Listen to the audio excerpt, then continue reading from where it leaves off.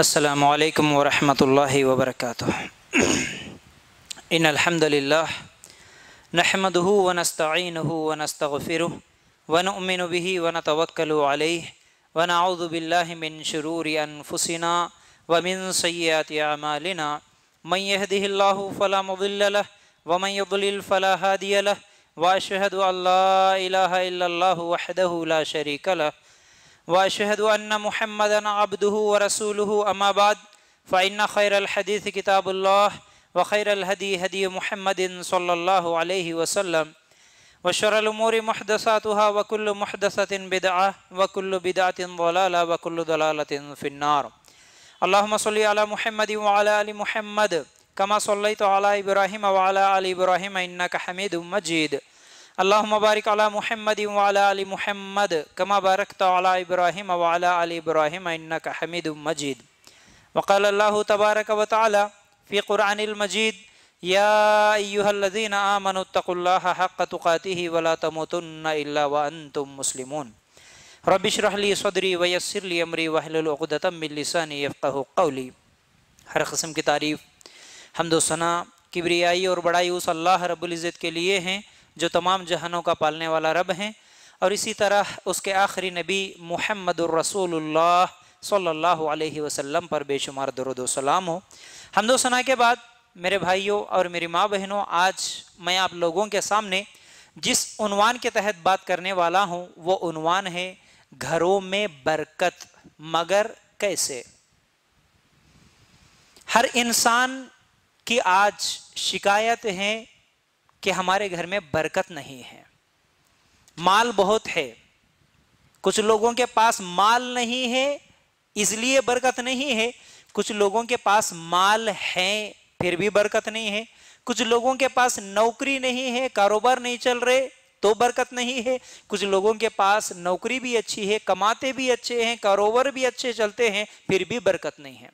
इंसान चाहता है कि उसकी माल में भी बरकत हो, उसकी औलाद में भी बरकत हो, उसके रिजक में बरकत हो, उसके वक्त में बरकत हो, उसके उम्र में बरकत हो, हर जगह बरकत चाहता है। लेकिन अक्सर लोगों की यही शिकायत होती है कि बरकत नहीं है। वजह क्या है?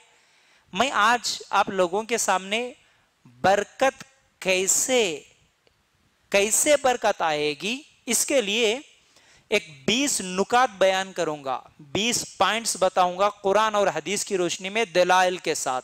अगर इन पर अमल करेंगे तो इनशाला इनशाला क्योंकि अल्लाह ताला ने कुरान में कहा है तो फिर झूठी बात नहीं हो सकती। यकीनन यकीनन बरकत होगी। तो वो चीज़ें क्या है? आप लोगों का गौर से सुनना होगा। अगर याद नहीं रहता तो लिख लेना होगा, या नहीं तो याद करने के बाद उस पर अमल करना होगा, तब जाके इंशाला बरकत होगी। तो देखिए, अक्सर लोग बरकत हासिल करने के लिए जो अल्लाह ने तरीका बताया जो रसूलुल्लाह सल्लल्लाहु अलैहि वसल्लम ने तरीका बताया, उस तरीके को छोड़कर दूसरे तरीके अपनाते हैं बरकत के उसूल के लिए। आपने भी देखा होगा, किसी के घर में चले गए तो दरवाजे पर कोई चीज़ बांधी हुई नज़र आती, या दीवार पर कोई चीज़ लटकाई हुई नज़र आती है। दुकान में जहाँ पर बैठा हुआ होता है कैश लेने के लिए, आदमी उसके सर पर कोई चीज़ लटकी हुई होती है। हर जगह कोई ना कोई चीज़ लटकी हुई, दीवार पे ठोकी हुई, लगाई हुई, पड़ी हुई, फूकी हुई, कोई ना कोई चीज़ होती है। अब उसमें नींबू भी हो सकता, नारियल भी हो सकता, कोई तख्ती हो सकती है, कोई लिखे हुए अल्फाज हो सकते हैं। किसी पर अल्लाह का नाम भी है तो किसी पर शैतान का नाम भी होता है। जब वो तावीजें खोल के देखते हैं, और जो चीज़ पंजे, घोड़े अलग अलग किस्म के लोग तस्वीरें लटका के रखते हैं ना, उन पर गौर करने से मालूम होता है कि कई चीज़ों पर शयातीन के भी नाम लिखे हुए होते हैं। तो ये चीज़ों से इंसान समझता है कि हमारे घरों में, हमारे दुकान में, हमारे कारोबार में बरकत होगी। बरकत होगी। और इतना भी नहीं सोचता, जो आदमी बरकत देने के लिए बरकत वाली तावीज बनाने के लिए जो बैठा, उसके घर में खुद बरकत नहीं रहती। अगर उसके घर में बरकत होती तो वो रास्ते पे बैठकर दूसरों को बरकत कैसे बांटता? उसका घर खुद अच्छा होता, उसके कपड़े पहले अच्छे होते, उसकी जगह अच्छी होती। और लोग इतना भी नहीं समझते कि भाई, हमारे घर में ये कैसे बरकत दे सकता है? मरे हुए मुर्दों पर जाके मांगना कि ये हमें बरकत देंगे। हालाँकि उनकी हिस्ट्री पढ़ेंगे तो वो खुद बेबरकत मरे हुए नज़र आते हैं। उनकी मौत खुद बड़ी अजीब और गरीब होती है। उनकी ज़िंदगी में खुद ज़िंदगी भर भीख मांग मांग के मरे हुए हैं। अब वो खबर में दफन होने के बाद लोगों को बरकत देने बैठे हैं। लोगों की अखले भी ऐसी बन गई। अल्लाह के लिए गौर करना, जब इंसान अल्लाह और उसके रसूल सल्लल्लाहु अलैहि वसल्लम के तरीके को छोड़ता, कुरान से दूर होता तो फिर ऐसे ही ठोकरें खाना पड़ता। अल्लाह के लिए गौर करना, आज भी ऐसी अंधी तकलीद करने वाले लोग हैं। कुछ ही दिन पहले हमारे अपने इस शहर के एक आदमी के बारे में मुझे मालूम हुआ, मुसलमान मवाहिद के बारे में मालूम हुआ वो भी। क्या? कि नहीं भाई, मुझे तुम्हारे ज़मीन में, तुम्हारी जगह में कोई एक बरकत वाली चीज़ नज़र आ रही है? एक बाबा बोला कि एक ज़मीन में दफन शुदा चीज़ मुझे नज़र आ रही है, वो सोने का लोटा है या सोने का कोई हीरे जवाहरात की कोई चीज़ रखी हुई है, अगर तुम मुझे कुछ पैसे देंगे तो मैं तुम्हें वो चीज़ निकाल कर दूँगा। उस आदमी के हाथ में 10 से 15 लाख रुपये ये आदमी रख दिया ताकि मुझे ज़मीन में जो दफन हुआ खजाना, बरकत का मुझे निकाल के दे दे ताकि मैं करोड़पति बन जाऊँ। जब 15 लाख रुपए उसके हाथ में भी चले गए, बाद में वो चीज़ निकाल के दिया और उसके बाद लापता होके जब भागा तो ये खोल के देखा तो मालूम पड़ा कि वो कौन सी बरकत थी। जब लेके गया दुकान में बताने के लिए तो उन्होंने धमकी दिया कि अब आए, दोबारा आए तो सीधा जेल में रहेंगे, ये चीज़ लेकर आएँगे तो।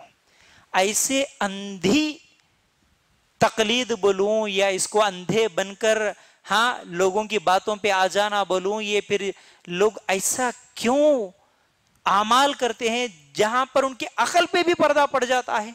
इतना भी शोर नहीं रखते कि क्या क्या बरकत के लिए करते चले जा रहे। बरकत एक चीज़ जहन में आ गया अब उस बरकत के लिए हलाल, हराम, अल्लाह, रसूल, कुरान, हदीस, कोई याद नहीं रहता। हर चीज़ करने के लिए चले जाते नहीं, अल्लाह के लिए गौर करना इनशाला आज मैं वो चीज़ें दलील के साथ बताऊँगा कि बरकत कहाँ है। बरकत कहाँ है। देखिए, सबसे पहले अल्लाह ताला कुरान में सूर्य आराफ की आयत नंबर 96 सूर्य आराफ की आयत नंबर छियानवे में अल्लाह ताला फरमाते हैं वलऊ अन्न अहलल कुरा आमनु वत्तकौलफतहना अलैहिम बरकातिम मिनस समाई वल अर्दी, वलाकिन कज़्ज़बू फअखदनाहुम बिमा कानू यक्सिबून। अल्लाह ताला क्या फरमाते हैं? अगर इन बस्तियों के रहने वाले ईमान ले आते और तखवा इख्तियार करते तो हम उन पर आसमान और ज़मीन की बरकतें खोल देते। लेकिन इन्होंने तकजीब की तो हमने इनके आमाल की वजह से इनको पकड़ लिया। देखिए, कितनी बेहतरीन उसूल, कितना बेहतरीन उसूल अल्लाह ताला बताते हैं, बरकत के नाजिल होने का। बरकत कहाँ है? अल्लाह कुरान में फरमाते हैं कि बरकत यहाँ है कि अगर तुम लोग ईमान वाले बन जाओ, अगर तुम लोग अल्लाह से डरने वाले बन जाओ, अल्लाह ताला तुम्हें ज़मीन और आसमान से बरकतें खोल देगा। आसमान से बरकत नाजिल होगी, ज़मीन से बरकत नाजिल होगी। शर्त यह है कि तुम पहले ईमान और अल्लाह से डरने वाले बन जाओ। कहाँ है ईमान? मरे हुए मुर्दों पर जाके मांगना ये ईमान है, तावीजों, गंडों पर, नारियलों पर अकीदा रखना ये ईमान है। ईमान क्या है? अल्लाह पर ईमान कहाँ है? कितना है? अल्लाह के बारे में कितना जानते हैं? अल्लाह पे कैसा भरोसा करना? अल्लाह पे कैसा यकीन करना? अल्लाह से कैसे मांगना? अल्लाह पे कितनी उम्मीद और कैसी उम्मीद रखना? अल्लाह तकदीर को कैसे बनाया है? जन्नत क्या है? जहन्नुम क्या है? आखिरत क्या है? रसूल क्या है? कहाँ है ईमान के बारे में कितना जानते अरकान ईमान का अगर सवाल है हमारे मुसलमानों में, कितने लोगों को नहीं मालूम कि अरकान ईमान कितने हैं और वो क्या है? तो कहाँ है ईमान? कहाँ है ईमान? जिसको अरकान ईमान ही ना मालूम हो कि मुझे किस चीज़ पर ईमान रखना है। अल्लाह पर ईमान, फरिश्तों पर ईमान, आखिरत के दिन पर ईमान, नबियों पर ईमान कयामत के दिन पर ईमान, अच्छी बुरी तकदीर पर ईमान, ये ईमान के छह अरकान है। हमारे मुसलमानों में कितने लोगों को मालूम है, कम अज कम याद है? कितने लोगों को याद है? अगर याद है तो फिर उस पर यकीन कितने लोगों का है? आखिरत आएगी, कयामत आएगी, कयामत के दिन मुझे उठना है, हर अमल का जवाब देना है। कितने लोगों को यकीन है? अल्लाह ताला ने तकदीर को लिख दिया है। कितने लोगों को यकीन है उस पर? अल्लाह के फरिश्ते हैं जो मेरे आमाल लिख रहे हैं, कितने लोगों को मालूम है? अल्लाह के अंबिया, नबी कितने आए? कितने लोगों को मालूम है? जब ईमान ही नहीं रहा तो फिर बरकत कहाँ से आएगी? अल्लाह ताला कुरान में फरमाते हैं ना सूर्य बकरा की आयत नंबर 137 में। क्या?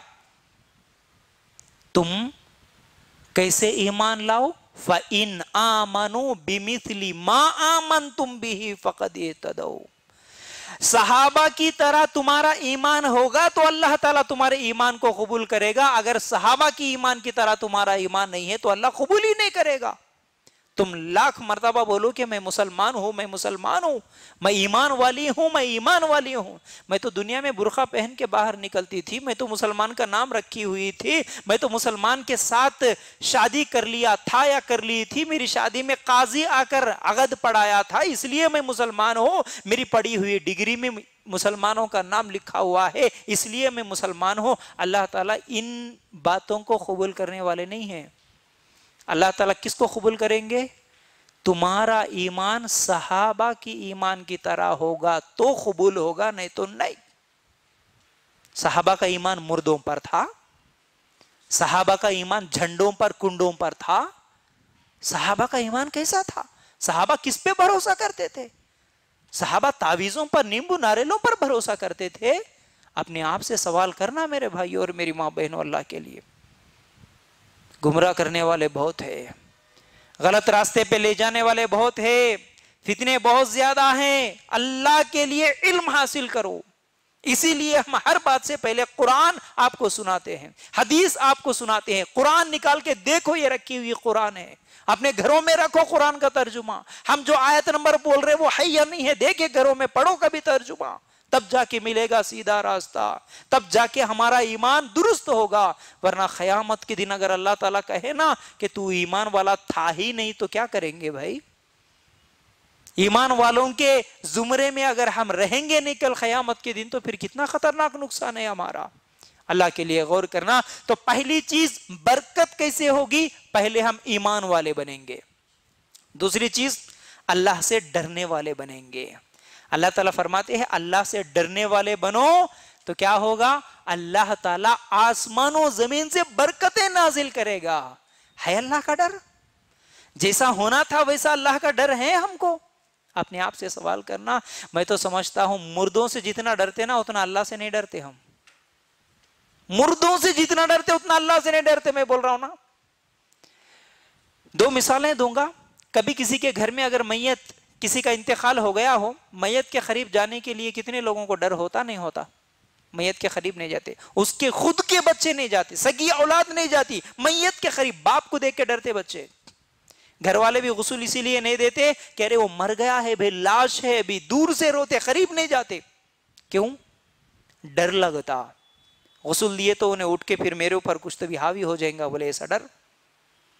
मुर्दों से जितना डरते, हम अल्लाह से नहीं डरते। एक मरतबा तो मैं खुद देखा कि जहाँ पर एक सफ़र कर रहा था गाड़ी में तो उस गाड़ी में सफ़र करते हो तो आप लोग भी अक्सर देखे हुए होंगे कि जैसे ऑटो है वगैरह, जो कुछ भी जिसपे भी हम सफ़र करते हैं तो अक्सर लोग क्या करते भाई गाने लगाते हैं ना?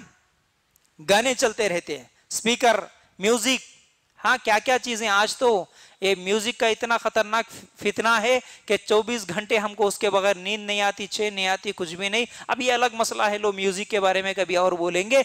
लेकिन जैसे ही मैं उस गाड़ी में जा रहा था तो पूरे गाने चल रहे थे। कुछ देर के बाद अचानक वो ड्राइवर बंद कर दिया गानों की आवाज़ को। मैंने बोला कि क्या हुआ भाई? अक्सर लोग तो पुलिस को देख के बंद करते हैं। ट्रैफ़िक पुलिस सामने नज़र आया तो हमारे सिटी में जितने भी लोग होते हैं ना फ़ौरन बंद कर देते। लेकिन मैं देखा कि पुलिस भी नहीं है। और जंगल है, शहर भी नहीं है, इतना ट्रैफ़िक भी नहीं है, क्यों बंद करा? थोड़ी दूर जाने के बाद साइड में दरगाह था।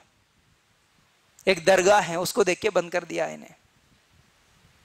फिर जैसे ही पार कर दिया, फिर ऑन कर दिया टेप देखें, क्या है आखिदा बाबा सुन लिए, अगर मैं गाना सुनते हुए तो मेरी ऑटो औंधी कर सकते हैं। मेरी गाड़ी एक्सीडेंट हो सकती है। उस मरे हुए मुर्दे से इतना डर इसको। बाबा का अदब करता, लेकिन वो अल्लाह 24 घंटे जो मुझे देख रहा है, वो अल्लाह जो 24 घंटे मुझे खिलाने, पिलाने का इंतज़ाम कर रहा है। उस अल्लाह की बनाई हुई ज़मीन पर चल रहा हूँ। उस अल्लाह की बनाई हुई सूरज की रोशनी से मैं ज़िंदा हूँ। उस अल्लाह की बनाई हुई आसमान के छत के नीचे मैं ज़िंदगी गुजार रहा हूँ। उसका पानी, उसकी हवा, उसकी ज़िंदगी, उसकी दी हुई ज़िंदगी, उसका दिया हुआ जिसम सब कुछ उसका इस्तेमाल करता। उससे नहीं डरता गाने सुनते हुए, लेकिन ये दरगाह को देख के डरता। ये है ईमान, ये है तखवा इसका। किससे डरता? मरे हुए मुर्दों से डरता। तो कहाँ से अल्लाह ताला बरकत नाजिल करेगा? अल्लाह के लिए गौर करना मेरी माँ बहनों और मेरे भाइयों, अल्लाह के लिए गौर करना सबसे पहली बात कि अल्लाह ताला बरकतें नाजिल करेगा। ईमान वाले बनो और अल्लाह से डरने वाले बनो। आज इंसानों से जितना डरते, उतना भी अल्लाह से नहीं डरते। जी, सबसे बड़ी परेशानी हमारी ये है। जी? अगर किसी को शुगर है, डॉक्टर ने कह दिया कि नहीं, आज के बाद अगर तू कभी मीठा खाया तो फिर ज़िंदगी भर मीठा नहीं खा सकता। एक बार भी मीठा खाया तो दोबारा मीठा नहीं खा सकता अब इस दुनिया में। तो क्या करेंगे भाई? शादी में जाएँगे, फ़ंक्शन में जाएँगे, टेबल पे रखे हुए चार, पाँच, दस किस्म के मीठे भी सामने होंगे तो शुगर वाला आदमी खाता नहीं खाता। उसको डर लगा हुआ है दोस्त बोलते, रिश्तेदार बोलते, अरे खाओ जी, क्या होता? एक बार खा लो। है ना टैबलेट? इधर खा भी सकते उधर वो दवाई भी खा सकते नहीं जी, डॉक्टर नक्को बोला। डॉक्टर ने मना किया। अगर मैं खा लिया तो फिर हमेशा के लिए हाँ इसलिए मैं नहीं खा सकता। डॉक्टर की बात पे यकीन है। डर है बीमारी बढ़ने का। अल्लाह के लिए गौर करना। वही अगर अल्लाह ताला बोल दिए कि, तुमने अगर फला अमल कर लिया तो फिर जहन्नुम में चले जाओगे। तो क्या अल्लाह की बात पे डर होता हमको? डॉक्टर की बात से तो डर है कि मीठा खा लिया तो बीमारी बढ़ सकती। क्या अल्लाह की बात पे भी डर है कि नहीं, फला अमल अगर तू कर लिया तो तू जहन्नुम में जा सकता। अल्लाह के लिए गौर करना। एक दिन फजर की नमाज़ छोड़ के सो गया तो क्या कभी डर हुआ कि अल्लाह ताला क्या सजा देगा? भाई, मैं क्या जवाब दूँगा? कभी डर हुआ? झूठी बात बोलते हुए, गिबत करते हुए, बेपर्दा घूमते हुए या कुछ भी कुछ भी कुछ भी। गलत काम करते हुए यह डर हुआ कि अल्लाह मुझे सजा देगा। हमारे नौजवानों को भी हम देखते हैं, ट्रैफ़िक पुलिस सामने ठहरा हुआ हो तो हेलमेट नहीं है तो फिर रुक जाता, ठहर जाता, उसको डर है पुलिस का। उसको डर है पुलिस का। क्या अल्लाह का डर है? माँ बाप को छुप के पार्कों में घूमने जाते हुए लड़कियों को डर है? लड़कों को डर है? माँ बाप से छुपाते हुए व्हाट्सअप फेसबुक में जो कुछ भी अफेयर चलाते हैं, क्या अल्लाह का डर है? माँ बाप का डर है, लेकिन क्या अल्लाह का डर है? जितना इंसानों से डरते उतना अल्लाह से भी नहीं डरते हम। तो फिर कहाँ से अल्लाह की बरकतें आएँगी? अल्लाह के लिए गौर करना, अल्लाह की बरकत कैसे आएगी? अल्लाह के लिए गौर करना, अल्लाह से ऐसा डरो कि वो डर मुझे नमाजी बना दे। अल्लाह से ऐसा डरो कि वो डर मुझे झूठ बोलने से बचाएँ। अल्लाह से ऐसा डरो कि वो डर मुझे औरत है तो पर्दा करने वाली बना दे। अल्लाह से ऐसा डरो कि वो डर मुझे लोगों पर जुल्म करने, गालियाँ देने, बुराइयाँ करने से मुझे बचाए, शराब से बचाए, जिना से बचाए, सूद से बचाए, हराम से बचाए, ऐसा जब हम अल्लाह से डरेंगे ना, हर काम करने से पहले मेरे रब को जवाब देना है, मैं क्या जवाब दूँ? ये एहसास जब आएगा ना, अल्लाह ताला ज़रूर बरकत नाजिल करेगा। ज़रूर बरकत नाजिल करेगा। हमारे जब यूट्यूब पे लेक्चर्स जाते हैं ना, बहुत सारे कमेंट्स आते हैं। उन कमेंट्स में अजीब अजीब बातें रहती हम कुरान की दलील दे के बोलते हदीस की दलील दे के बोलते कि फलां जगह, फलां फ़ंक्शन या फला रस्म या रिवाज या कोई भी ऐसी जगह जहाँ पर जाना हराम है, जायज़ नहीं है तो लोगों के कमेंट क्या आते मालूम है? यूट्यूब पे ही नहीं, बल्कि डायरेक्ट भी कई लोग सवाल करने वाले। पहला सवाल यही करते, ठीक है भाई, तुम बोल रहे, ठीक है, नहीं जाना। लेकिन रिश्तेदार क्या बोलते? रिश्तेदार नाराज़ होते ना। अब डर किसका है जी? रिश्तेदारों का तो डर है, लेकिन अल्लाह ताला क्या कहेगा, ये डर कहाँ गया फिर? अल्लाह का डर नहीं है। माहौल क्या बोलता? मुआशरा क्या बोलता? रिश्तेदार क्या बोलेंगे? ये डर हमारे जहन में है, लेकिन अल्लाह क्या कहेगा? ये डर बिल्कुल भी नहीं है। अल्लाह का अजाब होगा, ये डर बिल्कुल भी नहीं है। तो फिर घरों में कैसे, घरों में कैसे बरकत आएगी, अपने आप से सवाल करना। तो उसके बाद दूसरा नुकता, घरों में बरकत कैसे आएगी? दूसरा अमल हमको करना है, वो है अल्लाह की इबादत में दिल लगाना, जिससे हमारे घरों में बरकत होती है। क्या है? अल्लाह की इबादत में दिल लगाना। दलील तिरमिजी की रिवायत।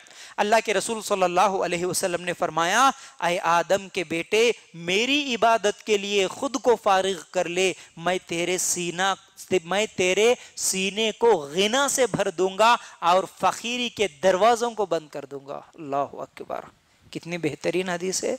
हमारे नबी सल्लल्लाहु अलैहि वसल्लम फरमाते हैं, अल्लाह ताला क्या फरमाते हैं कि, ए आदम के बेटे अल्लाह ताला फरमाते हैं कि अय आदम के बेटे, तू मेरी इबादत के लिए खुद को फारिग कर ले। अल्लाह की इबादत के लिए टाइम निकालना। फारिग करने का मतलब कुछ वक्त निकाल ले। फुर्सत किसके लिए? अल्लाह की इबादत के लिए खुद को फारिग कर ले, टाइम ऐसा सेट कर ले, सुबह से शाम तक की 24 घंटे की ज़िंदगी में ऐसा एक प्लान बना के रख ले कि मुझे इतनी देर हर दिन कुरान पढ़ना, इतनी देर मुझे हर दिन नफिल नमाज़ पढ़ना है, इतनी देर मुझे सवाब के काम करना है, इतना मेरा माल गरीबों में देना है, इतनी ये चीज़, ये करना, ये खुद को अल्लाह की इबादत के लिए फारिग कर लो। तो क्या करेगा अल्लाह ताला? अल्लाह ताला सबसे पहले तो सीने को गिना से भर देगा, यानी सीना हमारा खुल जाएगा, टेंशन, तकलीफ़। फिर उसके बाद अल्लाह ताला फरमाते हैं, फकीरी के दरवाजों को मैं बंद कर दूँगा। फकीर नहीं बनेगा तू अगर ये अमल कर लेता तो फकीर नहीं बनेगा, तेरे घर में बरकत ही बरकत होगी। फकीरी के दरवाजों को अल्लाह ताला बंद। हर आदमी आज फकीर हाँ भाई, क्या करना? अभी बड़े शान से बोलते ना फ़कीर, हाओ भाई, गरीब के घर में आओ। फ़कीर हूँ मैं, फ़कीर के घर में आओ। क्या क्या बोलते हैं? अल्लाह के लिए गौर करना। वजह क्या है? वजह क्या है? हमारी ज़िंदगी में हर एक के लिए टाइम है। अगर टाइम नहीं है तो अल्लाह की इबादत के लिए टाइम नहीं है। हर चीज़ के लिए टाइम है हमारे पास। हर चीज़ के लिए टाइम है। टाइम नहीं है तो अल्लाह की इबादत के लिए टाइम नहीं है। ना दीन सीखने के लिए टाइम है, ना दीन सिखाने के लिए टाइम है। ना अल्लाह के सामने झुकने के लिए टाइम है, ना अल्लाह की किताब पढ़ने के लिए टाइम है। उसके अलावा बाकी सब चीज़ें बोलो, सबके लिए टाइम निकालते। पकवान के लिए कितनी देर टाइम नहीं निकालते। कोई नया डिश आ गया यूट्यूब पे या न्यूज़पेपर में तो उसको सीखने के लिए कितना टाइम निकालते भाई? नया ड्रेस आ गया मार्केट में, नया माल आ गया किसी दुकान में, उसको जाके शॉपिंग करने के लिए हमारे पास कितना टाइम होता है? किसी के घर में शादी होती है तो कितना टाइम होता है बताओ? एक महीना, दो महीने लगा देते एक शादी के लिए। सिर्फ़ एक शादी के लिए जो कि दो मिनट में होने वाला काम है। सुन्नत तरीके पे करो, सिर्फ़ दो मिनट में होने वाला काम शादी। उसके लिए दो दो महीने छुट्टी लगा देते। कारोबार की छुट्टी जॉब की छुट्टी, इसकी सब कुछ। दो महीने होना भाई। शादी के काम बहुत है हमारे को। हैं, हर एक के लिए टाइम है। अगर टाइम नहीं है तो हमारे पास अल्लाह की इबादत करने के लिए टाइम है, नहीं है। अल्लाह के लिए गौर गौर करना तो फिर कैसे बरकत आएगी? एक दुकानदार दुकान में बैठ के क्या सोचता है, जब अजान होती है तो? नहीं भाई, इतने लोग, इतना गिराक आ रहा है, अगर मैं दुकान बंद करके चले जाऊँ नमाज़ पढ़ने के लिए तो कितना नुकसान होता मेरा? इसलिए मैं नहीं जा सकता। काउंटर छोड़ के नहीं जा सकता। नमाज़ छोड़ो। अल्लाह की इबादत के लिए टाइम नहीं है, पैसे गिनने के लिए तो टाइम है। तो अल्लाह की बरकत कैसे आएगी? अल्लाह की बरकत कैसे आएगी? टीवी देखने के लिए भी टाइम है, हमारे पास सीरियल देखने के लिए भी टाइम है। सिर्फ़ अजा होती है तो उस अजा के वक्त टीवी का वॉल्यूम कम करने के लिए भी टाइम नहीं है असल में। दिल क्या बोलता? अगर किसी मस्जिद का इमाम पाँच मिनट, चार मिनट की लंबी अजान दे दे, अगर अच्छा सीरियल भी चल रहा हो तो अल्लाह के लिए गौर करना, अपने आप से सवाल करना, दिल क्या बोलता हो? वॉल्यूम कम करने की आदत भी हो, लेकिन जिस दिन अच्छे डायलॉग्स आते ना, उस दिन तो दिल बोलता कि नहीं भाई, थोड़ा सा वॉल्यूम इधर भी बढ़ा दो, थोड़ा उधर भी सुनेंगे। क्या उस वक्त फ़ौरन उठ के नमाज़ पढ़ने का दिल करता है औरतों का? एक सीरियल बंद नहीं कर सकते हम। एक फ़िल्म नहीं बंद कर सकते हम। अल्लाह के लिए क्या टाइम निकालते अल्लाह की इबादत के लिए क्या वक्त निकालते हैं अपने आप से सवाल करना? अल्लाह के रसूल सल्लल्लाहु अलैहि वसल्लम तो इस हदीस में बताते हैं कि अल्लाह की इबादत के लिए तुम टाइम निकालो, फारिग हो जाओ, अल्लाह ताला बरकतें नाजिल करेगा, बरकतें नाजिल करेगा। बहुत बहाने भाई हमारे पास। नमाज़ छोड़ने के बहुत बहाने हैं। कुरान छोड़ने के बहुत बहाने हैं, बहुत बहाने हैं। तो क्या जवाब देंगे? एक तो क़यामत के दिन, फिर दूसरे हाँ आज तो फिर हमारा टाइम सबसे ज़्यादा ये लानत आ गई ना? कौन सी? जियो की लानत, अनलिमिटेड की लानत एंड्रॉयड मोबाइल एंड्रॉयड शरीफ की लानत। हाँ? इसके अलावा तो दिन नहीं गुजरता, एक घंटा एक घंटा भी नहीं गुजरता हमारा। इसको हाथों में लिए बगैर एक घंटा भी नहीं गुजरता। इसके लिए कितना टाइम निकाल रहे अल्लाह की इबादत के लिए कितना टाइम निकाल रहे कितना टाइम निकाल रहे हैं? अनलिमिटेड से पहले जो बैलेंस डालते थे ना, तीस रुपये, चालीस, पचास, सौ, कुछ भी बैलेंस डालते थे मोबाइल में, क्या सोच के बात करते थे, भाई, किसी को बात करना होता तो? नहीं जी, पाँच मिनट से ज़्यादा बात नहीं करेंगे। पहले ख्याल आता था, नहीं आता था? दस मिनट से ज़्यादा नहीं बात करेंगे। ज़रूरी बातें बात करके रख देंगे। बैलेंस ख़त्म हो रहा जी हमारा। या तो मिसकाल दे के इंतज़ार करते थे। अब मिसकाल देने वाला कोई नहीं है। मिसकाल कोई देता है? सबके पास अनलिमिटेड आ गया। मिसकाल कौन दे? अब क्या अनलिमिटेड का क्या नुकसान हुआ? अल्लाह की इबादत तो छोड़ो। घर के खुद का अपना ख्याल नहीं रहता। घंटों लगे हुए है। इसके साथ एक घंटा, उसके साथ दो घंटे। हर दिन फिर फ़ोन। कभी खलेरी बहन, कभी भूपेरी बहन, कभी मुमेरा भाई, फला, ये, वो, अम्मी, खाला भूपू सब याद आते हैं। और फजूल की बकवास। कुछ भी फ़ायदे वाली नहीं। फ़ायदे वाली पाँच मिनट बात होती है तो पचपन मिनट फजूल बातें होती है, उसके अंदर गिबत होती है, चुगली होती है। इनो कैसा करे, उनो कैसा करे, उनो क्या बोले, इनो क्या बोले, सब होती है उसमें। कहा है फिर अल्लाह के लिए टाइम जितना मोबाइल के लिए टाइम निकाल रहे हैं, हम उतना भी अल्लाह की इबादत के लिए नहीं निकाल रहे। तो मुझे बताओ, घरों में बरकत कैसे आएगी? अल्लाह के लिए गौर करना मेरी माँ बहनों और मेरे भाइयों तो देखिए, हम क्या समझते हैं कि नमाज़ पढ़ना, इबादत करना, या इज्तम सुनना, या कुरान सीखना, या सिखाना, ये तमाम चीज़ें दीन का काम करना, ये सब क्या है हमारे नज़दीक? टाइम मिले जब करने के काम है। है ना? मेरे अल्फाज गलत तो नहीं है। ये सब क्या है? नमाज़ कब पढ़ना जी? टाइम मिले तो पढ़ना। टाइम मिले जब पढ़ना। इज्तेमा में कब जाना? टाइम मिले जब इज्तम में जाना। कुरान का पढ़ना? टाइम मिले जब। ये सब टाइम मिले जब करने के काम। हम समझ रहे। नहीं नहीं नहीं। असल में ये काम टाइम निकाल के करने के हैं। टाइम मिले जब करने के नहीं होते काम। ये अहम है, ये ज़रूरी है। बाकी जो चीज़ें हैं ना, मोबाइल पे बात करना फेसबुक देखना व्हाट्सअप देखना, ये दूसरी ये तमाम चीज़ें टाइम मिले जब करने के काम है। ये नमाज़ पढ़ना तो टाइम निकाल के करने के काम है। सब कुछ छोड़ो, पहले नमाज़ का वक्त हुआ, पहले नमाज़ पढ़ो। अल्लाह की इबादत पहले करो, टाइम निकाल के करो। बाकी सब चीज़ें टाइम मिले तो करो, नहीं तो छोड़ो, उससे कोई नुकसान नहीं होने वाला। इससे बड़ा नुकसान होने वाला है। अल्लाह के लिए गौर करना, दीन इतना सस्ता हो गया हमारे पास। दीन इतना सस्ता हो गया। अल्लाह और उसकी रसूल की बातें इतनी सस्ती हो गई।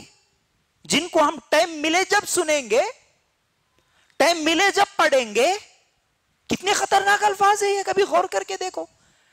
टाइम मिले जब सुनेंगे, टाइम मिले जब पढ़ेंगे, टाइम मिले जब कर लेंगे असल तो अल्लाह ताला इसीलिए भेजा कि तुम्हारा पूरा टाइम इसमें गुजारो। बाकी जो टाइम बचता उसके लिए घर की जिम्मेदारियाँ है। बाकी जो ये काम करते करते जो टाइम मिलता ना, बचता ना, उस टाइम पे फिर बीवी, बच्चे, घर, कमाना, जमाना, ये सब बात की बातें असल काम तुम्हारा ये है। दुनिया में आने का मकसद ही ये है कि तुम अल्लाह की इबादत करने वाले बन जाओ। अल्लाह की इबादत टाइम निकाल के करो, बचे हुए टाइम में दूसरे काम करो। वो ज़रूरतें हैं तुम्हारी, ये असल मकसद है। अल्लाह की इबादत करना असल मकसद है। वो सब दूसरे काम क्या है? जरूरतें हैं। आज हम जरूरतों को मकसद बना लिए, मकसद को ज़रूरत बना लिए। ज़रूरत रह जा, पढ़ लेना भाई हो तच टाइम रह जा, पढ़ लेना, कर लेने के काम है ये चीज़ जहन से निकालना मेरी माँ बहनों और मेरे भाइयों अल्लाह के लिए। तभी तो हमारे घरों में बरकत नहीं है। करोड़ों की दौलत है, लेकिन रात को सोता नहीं। नींद नहीं आती उसको। क्यों? कहाँ है बरकत फिर? बरकत किस चीज़ का नाम है? नोटों को बिछा के सो जाओ, ये बरकत है? घर में सोने चांदी के प्लेट्स बना के रख लो, ये ये बरकत है। अलमारी में 20 20 50 50 तोले, हमारे क्या है, जेवरात बना के छुपा लो, ये बरकत है। सब कुछ है, अलमारी में सजे हुए, लेकिन घर में टेंशन है। दिलों में सुकून नहीं है। मियाँ बीवी के दरमियान झगड़े, माँ बाप भाई बहन के दरमियान झगड़े, कभी चैन की नींद नहीं आती। ये कौन सी बरकत है फिर? कहाँ चले गई फिर बरकत? वही दूसरी तरफ़ देखो, कभी स्टेशन में जाते ना, रेलवे स्टेशन पे। जब गाड़ी आती ना, गाड़ी आते वक्त देखो, ऐसा लगता पूरी ज़मीन को हिलाते हुए आ रही वो। ज़मीन को फाड़ के आ रही क्या? जलजला आ रहा क्या? ऐसा महसूस होता। लेकिन उसी रेलवे ट्रैक के बाजू में एक गरीब सो जाता ना, उसको महसूस भी नहीं होता कि ट्रेन कब आई, कब चलेगी। कितनी आराम की नींद सोता हो। करोड़ों का माल है, तब भी नींद नहीं आए तो ये बरकत नहीं है। अजाब है, अजाब। अल्लाह का अजाब है ये। तो बरकतें कब आएँगी? जब हम अल्लाह की इबादत करेंगे, अल्लाह की इबादत के लिए वक्त निकालेंगे। मेरे भाइयों, अल्लाह के लिए गौर करना मेरी माँ बहनों, ये रिटायरमेंट होने के बाद, बूढ़े होने के बाद करने वाले काम नहीं होते। अल्लाह की इबादत हमेशा करना है। हमेशा करना है। तीसरी चीज़, बरकत कैसे आएगी? बरकत कैसे आएगी? तीसरी चीज़, अल्लाह ताला फरमाते हैं लैलतुल कदर में इबादत करना। लैलतुल कदर क्या है? बोलिए। लैलतुल कदर क्या है? रमज़ान के? हाँ। शब कदर जिसको बोलते ना, लैलतुल कदर। ताख रातें जो जागने की रातों के नाम से मशहूर हैं तो ये लैलतुल कदर के आखिरी अशरे में जो पाँच ताख रातें हैं ना, इन रातों में अल्लाह की इबादत करने से अल्लाह ताला बरकत नाजिल करते हैं। कैसे? दलील, अल्लाह ताला सूर्य दुखान की आयत नंबर तीन में फरमाते हैं। सूर्य दुखान आयत नंबर तीन, अल्लाह ताला फरमाते हैं, इन्ना अनजलना हुफी लैलतिम मुबारकतिन, इन्ना कुन्ना मुनजिरीन। तर्जुमा क्या है इस आयत का? यकीनन हमने इसे बाबरकत रात में उतारा है, बेशक हम डराने वाले हैं। मतलब ये रात ही बरकत वाली है तो इस रात में इबादत करने वाला अल्लाह ताला उस पर बरकतें नाजिल करते हैं। ठीक है? तो इनशाला रमज़ान का महीना करीब है। तो रमज़ान के महीने में, इस रात के बारे में बहुत सारी फजीलतें आप लोग सुनते भी हैं। इनशाला मौका मिला तो हम भी सुनाएँगे। तो बहरहाल, इस चीज़ को भी जहन में रखना है कि बरकत वाली रात लैलातुल कदर की है। इसमें ज़्यादा से ज़्यादा इबादतें करना। हमारे पास क्या है भाई? वो भी जगने की रात समझते हैं। हाँ उसमें भी बिदत फिर शब मेराज की एक रात शब बारात की एक रात। हाँ शब कदर की एक रात सिर्फ़ तीन रातें जाग लो। वो तीन रातों में भी क्या है? अगर औरतें हैं तो किसी एक के घर में जमा हो जाओ। हाँ आठ रकात, चार रकात, दस रकात कुछ तो भी नमाजें पढ़ लो। अलग अलग तरीके के नमाज़ की किताबें मिल जाएँगी। सब कुछ बेबुनियाद, बगैर दलील की बातें। फिर उसमें थोड़ी देर नमाज़ पढ़ लिए। उसके बाद चाय पिए, बातें कर लिए। बस उसके बाद रात तमाम गुजार दिए। चले गए घरों को। मर्द है तो होटलों में चक्कर मारते रहता। हो गए भैया जागे रात तमाम जागे, हम मालूम है रात तमाम जागे। क्या करते हुए जागे? बातें कर लेते हुए जागे ना। कितनी अच्छी बातें हैं, मालूम है, महल्ले की औरतें सब जमा हो गई। इनकी घर की कहानी उन्होंने सुनाए उनके घर की इन्होंने सुनाए सुनते सुनाते रात मालूम ही नहीं होगी, ऐसा जागे हम लोग। बहुत सवाब कमा लिए, नहीं? बरकत वाली रात में दूसरों की गिबतें करके, बरकत वाली रात में चुगलियाँ करते हुए। बरकत वाली रात में हँसी मज़ा करते हुए गुजार दिए। अब बरकत लेके गए घरों को। अस्तगफिर अस्तगफिर तो क्या है? बरकत कैसे आएगी? जब हम इस बरकत वाली रात में अल्लाह की इबादत करेंगे। उसके बाद चौथी चीज़, घरों में बरकत कैसे आएगी? अल्लाह ताला फरमाते हैं, कुरान की तिलावत करना। कुरान की तिलावत करने से घरों में बरकत आती है। दलील सूर्य अंबिया, आयत नंबर 50 सूर्य अंबिया की आयत नंबर 50 में अल्लाह ताला क्या फरमाते हैं? गौर से सुनना। अल्लाह ताला फरमाते हैं, वहाजा किताब, वहाजा ज़िक्र मुबारकुन अनजलना अफा अंतुम लहू मुनकिरून। और ये नसीहत और बरकत वाला कुरान भी हमने नाजिल फरमाया। क्या फिर भी तुम इसके मुनकर हो? अल्लाह ताला कुरान को बरकत वाली कहता है इस आयत के अंदर कि तुम कुरान की तिलावत करो तो तुम्हारे घरों में बरकत होगी। कुरान ही बरकत वाली है। अब इसको हम क्या करते? हरे कपड़े में, लाल कपड़े में बाँध के ये बरकत वाली चीज़ कहाँ रहना? अलमारी के ऊपर रहना। बरकत वाली चीज़ कहाँ पर रहना? ऊँची जगह में रहना। बरकत है ना? बरकत। अल्लाह के लिए गौर करना नहीं। जब इस कुरान की तुम तिलावत करेंगे, पढ़ेंगे, इस कुरान को तो बरकत होगी। पढ़ेंगे तो बरकत होगी। हम क्या करते जी? हम इस कुरान के साथ कैसी बेअदबी करते हैं? अल्लाह के लिए गौर करना क्या जवाब देंगे? इसीलिए हमारे नबी सल्लल्लाहु अलैहि वसल्लम ने फरमाया कि ये कुरान, क्या है ये कुरान? क़यामत के दिन या तो तुम्हारे हक में गवाही देगी या तुम्हारे खिलाफ। ये कुरान दो में से कोई एक गवाही देगी ज़रूर। या तो तुम्हारे हक में बोलेगी, अल्लाह ताला से, अल्लाह अल्लाह ये पढ़ने वाला था, अल्लाह अल्लाह ये मुझे रातों को जाग जाग कर पढ़ता था, अल्लाह हमेशा पढ़ता था, अल्लाह तो इसकी मगफिरत कर दे, इसको माफ़ कर दे। ये कुरान अल्लाह से झगड़ा करेगी पढ़ने वाले के लिए। कुछ बदनसीबों के खिलाफ गवाही देती है, खिलाफ में।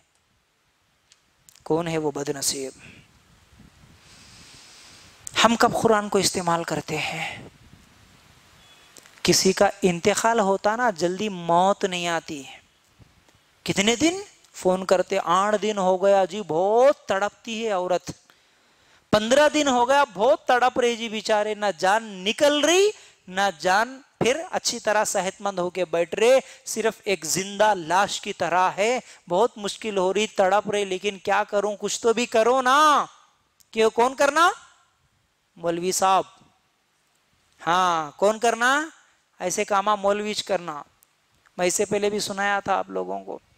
मुझे खुद ऐसे कई मरतबा कॉल आते रहते नौ बजे रात को एक आदमी कॉल करा, भाई, क्या बोलता मालूम है? मुल साहब, हमारे नानी का इंतकाल होने के करीब है, बहुत तड़पते हैं, लेकिन रूह नहीं कब्ज हो रही। क्या करो? मुल साहब, जल्दी आओ ना हमारे घर। क्या करूँ भाई आकर? नहीं, वो यासिन पढ़े तो जल्दी जान जाती कहते ना, मुल साहब, आके पढ़ो। हाँ?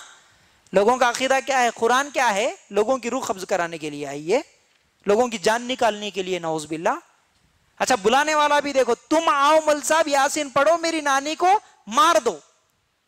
तू तू पढ़ना फिर। तू क्यों नहीं पढ़ता? अगर हकीकत में यासीन पढ़ने से जल्दी जान जाती, तू पढ़ के भूखना। नहीं मुल साहब पर इल्ज़ाम डालना। फिर मरने के बाद नानी शैतान बन के आ गए तो हमारे ऊपर। हाँ लोगों के अकीदे कितने खतरनाक है भाई। कुरान कब पढ़ते? किसी का इंतकाल हो रहा तो उससे पहले आके सब औरतों बैठ के पढ़ रहे, मर्द बैठ के पढ़ रहे, नहीं तो मदरसे के बच्चों को बुला के पढ़ाते। एक पंद्रह दिन पहले का वाकया। अब नाम तो नहीं लेता हूँ, मेरे अक्सर तकरीरों में मैं किसी जमात का नाम नहीं लेता हूँ।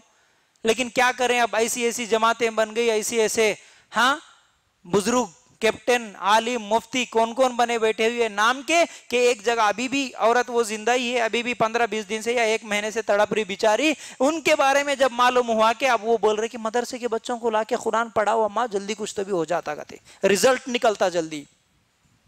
हाँ? कुरान रिज़ल्ट निकालने वाली है। क़यामत के दिन रिज़ल्ट निकलता, दुनिया में नहीं निकलता। कुरान के साथ तुम क्या करे? एक तो मरने से पहले पढ़ाते कुरान, और कुछ लोग मरने के बाद पढ़ाते हैं। हाँ? किसी का इंतकाल हुआ, कुरान पढ़ने वाली औरतें कितनी हैं? अम्मा आओ, सब जमा हो जाओ। पारे ले लो अब कुरान के, सब लेके पढ़ो अब। मैयत को लेके दफनाने वाले मर्द वहाँ चले जाते, घरों में बैठ के कुरान पढ़ने वाले कुरान पढ़ते। कुरान इसलिए आई। पूरी कुरान में एक जगह बताओ, मैयत पे पढ़ना या मरने के बाद पढ़ने के लिए ये कुरान आई? एक एक एक जगह बताओ कहीं पर है क्या? ये कुरान क्यों आई भाई? अल्लाह कुरान क्यों नाजिल करा भाई? मुर्दों पे पढ़ने के लिए। नौजबिल्ला क्या बना के रखे अल्लाह के कलाम को? हाँ कुरान एक जगह याद आती है और कब? घर में अगर चोरी हो गई तो कुरान याद आता। जी? कुरान कहाँ कहाँ निकालते हैं हम? घर में चोरी हो गई, किसी के ऊपर शक है, कुरान की कसम खाओ। लाओ जी, कुरान लाओ कसम खा के बोलो। कुरान खसमें खिलाने के लिए आई। एक और जगह भी याद आती, कुरान हमको कब? बच्ची की शादी होती ना। जहेज में सबसे पहले लिस्ट लिखाते ना कौन सा लिस्ट? Number one, Quran. हराम चीज़ों में नंबर वन, कुरान का नाम लिखाते अल्लाह के लिए डरना, अल्लाह के लिए डरना। नीचे, number one, Quran. Number two, जाए नमाज़। कई को? दूल्हा ना बचपन से पढ़ पढ़ के पढ़ पढ़ के नमाज़ इतनी पढ़ा के उसकी जानिमात फट गई, खराब हो गई। पढ़ पढ़ के पढ़ पढ़ के उन्हें कुरान भी पूरी उसकी खराब हो गई। अब दुल्हन लाए सो कुरान पढ़ लेता उन्हें। इसलिए नंबर वन पे कुरान, नंबर टू पे ये, नंबर तीन पे अब वहाँ से शुरू होता। पलंग, बिस्तर, चम्मच लोटा कल के दिन झगड़ा हो गए तो चम्मच भी नहीं छोड़ते। ला बेटा, बारह दिए थे एक कम कहा है? इधर ला बोल। इसके लिए लिखा लिखा के देते नहीं। और क्या बोलते? खुशी से दे रहे हम। खुशी से देने वाले बारह चम्मच की जगह एक कमाए तो खामोश क्यों नहीं बैठते जी? जहेज खुशी से देते, कहते ना? अल्लाह के लिए गौर करना, क्या बना के रखे हम? कुरान के साय से दुल्हन को गुजारना, हा? इसके लिए कुरान आई अल्लाह के लिए गौर करो मेरी माँ बहनों, हम क्या करते हैं कुरान के साथ? तो इसलिए अल्लाह ताला क्या फरमाते हैं इस आयत के अंदर? कुरान पढ़ो। ताकि तुम्हारे घरों में बरकत आए। आज तो ऐसे भी हालात हैं कि मैं कई दुकानों पे अपने आँखों से देखा कि सुबह सुबह किराए के मुल साहब आते। देखे किराए के मुल साहब को। किराए के मुल साहब आके हर महीना पाँच सौ हज़ार बात कर लेके जाते कि तू दुकान खोल, मैं आके कुरान पढ़ के जाता हूँ। तेरी दुकान में बरकत ही बरकत। इन्हों दुकान खोलते जुमल साहब आके कुरान पढ़ के चले जाते, एक कोने में बैठते, एक पाँच मिनट पढ़ दे के चले आते, वो दुकान जाते फिर, किराए के मुल साहब ना, पूरे दुकान बात कर लेते इन्हों इसके दुकान में पाँच मिनट, इसके दुकान में दस मिनट, पूरे कुराना पढ़ के चले आते, हो गया। अब इनकी दुकान में बरकत। अब इन्हों क्या करते फिर? इन्हों सेठ ना उन्होंने कुरान पढ़ के जाने के बाद इन्हों टीवी लगा लेके बैठते। इन्हों गाने सुनते हुए बैठते। ये है देखो हमारा ऑटो चलाने वाला भी सुबह सुबह जब ऑटो ऑन करता है तो कुरान की खिरत लगाता। आधे घंटे के बाद क्या करता? गाने लगाता। क्या है भाई ये? अल्लाह के लिए गौर करना मेरी माँ बहनों तो ये कुरान लटकाने के लिए, बांधने के लिए, जहेज में देने के लिए, मैयत पे पढ़ने के लिए नहीं आई। कुरान खुद पढ़ो, खुद खुद पढ़ो। जब तक ज़िंदा है तब पढ़ो। ज़िंदा रहे जब कुरान याद नहीं आती, मरने के बाद सबको याद आती भाई। जो कभी ज़िंदगी में नहीं पढ़ा, उसको भी याद आती कुरान, अरे पढ़ो भाई, कुरान पढ़ो, सवाब पहुंचाओ मरने वाले के लिए। हाँ किताबों में तो लिख लिख के रखे ऐसे कि सत्तर सत्तर हज़ार मरतबा पढ़ के रख लिए इन्हों बैंक बैलेंस जमा के रख लिए। किसको बोले, उसको ट्रांसफ़र कर देते इन्हों। लोगों को बख्शवाने के लिए नहीं होता ये। ज़िंदा है, अब पढ़ो, बरकत होगी। अब पढ़ो, मरने के बाद सवाब मिलेगा। ज़िंदा रहे जब अमल करना है अल्लाह के लिए गौर करना, और ये कुरान क्या है? और ये कुरान क्या है? मिसाल दे के समझाता हूँ, अल्लाह के लिए गौर करना। शादी होती ना, किसी के घर में शादी होती, वलीमा जब होता तो क्या होता भाई? रात के 11 बजे 12 बजे, एक बजे तक तोहफे ला के देते लोग ना। तोहफे सब के घर में जमा करके रखे। सुबह को वलीमा है, रात को वलीमा है। आज रात को निकाह हुआ, कल रात को वलीमा है। जितने तोहफे रात को आज जमा हुए शादी की रात, वो तोहफे ओपन कब होते? वलीमा के सुबह होते हैं है ना? वलीमा की सुबह। रात को वलीमा है तो आज सुबह छो जाते या नहीं? तो वलीमा होने के सुबह होते क्योंकि शादी के अलग, वलीमा के अलग रखना है। क्या रहता दिल में ख्याल? अरे कौन कौन सा तोहफा लेके आए कि जल्दी देखेंगे जी। इन्हों कौन सा लाए, उन्हों कौन सा लाए? देखना है, तड़प है, ख्वाहिश है। मेरा दोस्त, मेरा रिश्तेदार कौन सा तोहफा लेके आया? कभी ये ख्वाहिश अपनी ज़िंदगी में कुरान के ताल्लुक से भी हुई कि अल्लाह ताला मेरे लिए एक तोहफा भेजा चौदह सौ साल पहले, आज तक उसमें क्या मैसेज है देखेंगे? वो तोहफा अल्लाह ताला जो मेरे लिए भेजा, मेरी हिदायत के लिए भेजा, मुझे जन्नत का रास्ता दिखाने के लिए भेजा, मुझे जहन्नुम से बचाने के लिए ये तोहफा भेजा था अल्लाह। इसको ज़िंदगी में एक मरतबा तर्जुमे के साथ पढ़ूं, इस नीयत के साथ कभी कुरान खोल के देखे? तो क्या कर रहे हैं हम कुरान के साथ? मैसेज आता है मोबाइल पे। हर एक के मोबाइल पे मैसेज आता, जिसको अंग्रेज़ी इंग्लिश मीडियम पढ़ने आता, तभी उसको भी आता। जिसको पढ़ाई, लिखाई नहीं आती, तभी उसको मैसेज आता। मैसेज आने के बाद क्या करते हैं? अगर जिसको पढ़ने आता तो वो तो पढ़ के देख लिया। जिसको पढ़ने नहीं आता, बूढ़ियों के पास भी, बूढ़ों के पास भी मैसेज है, अनपढ़ के पास भी है। मोबाइल फ़ौरन क्या करता? पढ़ने नहीं आता, लेकिन बेटा इधर आ, किसी पढ़ने पढ़े लिखे लोगों को बुला के क्या बोलते? बेटा देख ये मोबाइल पे कुछ मैसेज आया होगा, कुछ तो भी लॉटरी वगैरह लग गई होंगी, देख, कुछ तो भी ऑफ़र आया होगा मेरे मोबाइल पे, देख। मोबाइल पे एक छोटा सा मैसेज आया तो जब तक उसको पढ़ेंगे नहीं, दिखाएँगे नहीं लोगों को, हमारे को चैन नहीं आया, सुकून नहीं आया। एक मैसेज दो, अल्लाह ताला ने मेरे लिए चौदह सौ साल पहले से भेज दिया, जिसे बचपन से देखते आ रहा हूँ मेरे घर में, लेकिन उस मैसेज को पढ़ने की तोफीक हुई?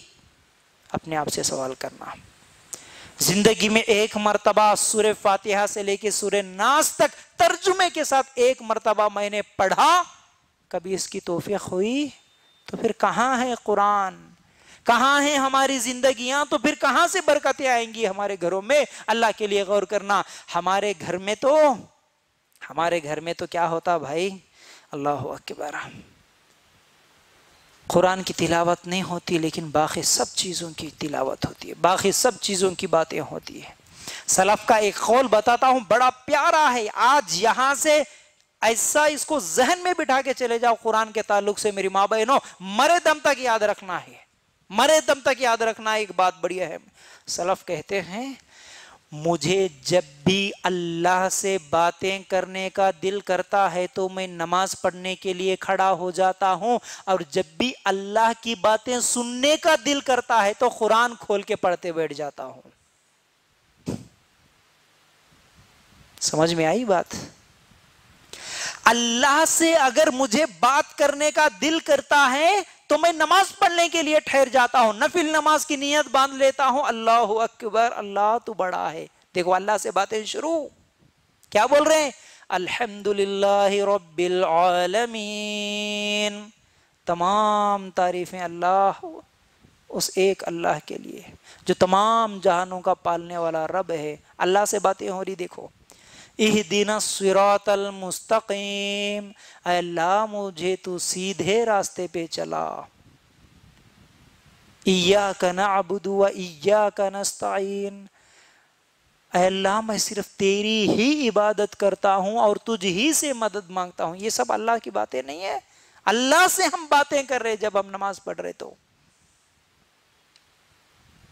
अगर अल्लाह की बातें सुनने का दिल करता है तो? कुरान खोल के बैठ जाता हूँ। कुरान का एक एक हरूफ मेरे रब का कलाम है। मेरे रब की बात है। मेरा रब मुझे क्या बोल रहा है? मेरे रब की बातें सुनने के लिए मैं बैठ जाता हूँ जब कुरान पढ़ता हूँ।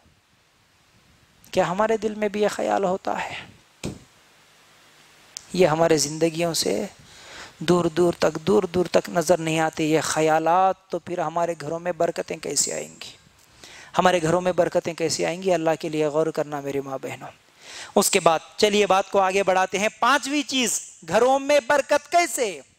पांचवी चीज़ सूर्य बकरा की तिलावत करना।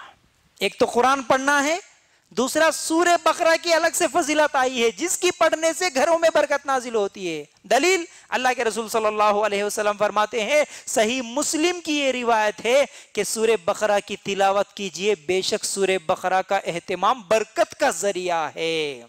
सूर्य बकरा का एहतमाम बरकत का ज़रिया है। दूसरी हदीस में तो अल्लाह के रसूल सल्लल्लाहु अलैहि वसल्लम ने क्या फरमाया? जिस घर में रोज़ाना सूर्य बकरा की तिलावत होती, उस घर में शैतान कभी नहीं आता। शैतान भी नहीं आता, रहमत के फरिश्ते आते हैं, बरकत आती है हमारे घर में सूर्य बकरा पढ़ने से। हम किसको बुलाते हैं? हम रहमत के फरिश्तों को बुलाते हैं?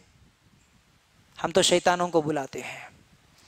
हम तो वेलकम करते हैं, उनका इस्तेकबाल करते हैं, शैतानों का, जिन्नों का हमारे घरों में। कैसे वेलकम करते भाई? सुबह उठते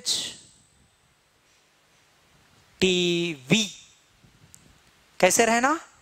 मैं जहाँ पर सोता हूँ, मेरी आँख खुलते ही सबसे पहले नज़र बीवी पे ने टीवी पे पढ़ना। ऐसा सेट करके रखते हैं उसको। औरतों का किचन रूम भी टीवी देखते हुए खाना बनना हमारे घर में ऐसा सेट करके रखते हैं उसे। सुबह उठते ही म्यूज़िक की आवाज़ आना, सुबह उठते ही मंदिरों के घंटों की आवाज़ आना टीवी के सीरियलों से। शाम को सोते वक्त भी वही घंटे, वही भजन हमारे घरों के अंदर आना आवाज़ सीरियलों के ज़रिए से। तो अब शैतान आएँगे या रहमत के फरिश्ते आएँगे? शैतानों को बुलाए हम खुद, जिन्नों को बुलाए हम खुद। जब जिन आके जिसम पे हावी हो गया तो फिर जाएँगे मौली साहब, क्या हो गया? समझ में नहीं आ रहा, डर हो रहा, घर से भाग जाना दिल बोल रहा खुदकुशी कर लेना दिल बोल रहा, इसमें दर्द हो रहा, उसमें दर्द हो रहा क्या क्या की हो जा रहा? सब कुछ हो रहा, क्यों हो रहा? शैतान आ गया, जिन आ गया। अब चलो फिर जादूगरों के पास। अब चलो, अब ईमान भी खराब, पैसा भी खराब, वक्त भी खराब, सब कुछ बेकार में। क्यों भाई? हम खुद बुलाए ना वेलकम करके जिन्नों को, शैतानों को, टीवियों के ज़रिए, म्यूज़िक के ज़रिए। अगर वही कुरान की तिलावत होती, हमको कुरान की तिलावत सिर्फ़ रमज़ान में याद आती। सिर्फ़ रमज़ान में पढ़ने का दिल करता भाई। रमज़ान में फिर ऐसा पढ़ेंगे उसको कि फिर कौन सी एक्सप्रेस भी उतना स्पीड नहीं भागना जितना स्पीड हमारे घरों में कुरान की तिलावत में भागते हम। कौन सी भी एक्सप्रेस फेल है। अब और फिर उसमें मुकाबला। क्या जी खाला? क्या जी चाची? कितने कुरान खत्म हुए तुम्हारे? हमारे तो पाँच हो गए मालूम है। तुम्हारे कितने हुए? अरे हमारे अभी चार ही अरे उनके पाँच हुए कहते, उनको देख के और थोड़ा और स्पीड बढ़ाएँगे भाई इसका। ये है कुरान पढ़ने का तरीका। और फिर रमज़ान हो गया तो अगले रमज़ान तक बंद। नहीं देखेंगे भाई अब। अगले रमज़ान तक इसको खोलेंगे नहीं। ऐसा नहीं होना मेरे मेरे माँ बहनों, ऐसा नहीं होना। हर दिन कुरान पढ़ेंगे तो इनशाला हर दिन सूर्य बकरा की तिलावत करेंगे तो हमारे घरों में बरकतें आएँगी। अल्लाह के रसूल सल्लल्लाहु अलैहि वसल्लम ने खुद फरमाया कि सूर्य बकरा की तिलावत घरों में बरकत का ज़रिया है। सहाबा जब कुरान पढ़ते थे तो रहमत के फरिश्ते उतरते थे ना। हम सुने ना तीसरे पिछले हफ़्ते या उसे पहले वाले हफ़्ते में, साहबी कुरान पढ़ते, आसमान से फरिश्ते उतर रहे थे। हम तो शैतानों को उतारते हैं म्यूज़िक के ज़रिए से। हाँ? घरों में, होम थिएटरों के ज़रिए से जिन्नों को हम उतारते हैं, अल्लाह के लिए गौर करना तो फिर कैसे हमारे घरों में बरकत होगी। और बात को आगे बढ़ाते हैं, छठवीं चीज़। घरों में बरकत कैसे? छठवीं चीज़ ये है कि रजाए इलाही पर राज़ी होना, यानी अल्लाह ताला की तकदीर पर राज़ी होना।